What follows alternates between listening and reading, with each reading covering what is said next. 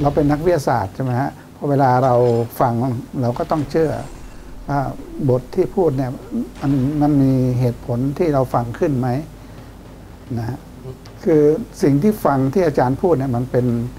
ตรรกะหรือเป็นลอจิกนะฮะคืออาจารย์พูดแล้วมันฟังได้แล้วก็รับได้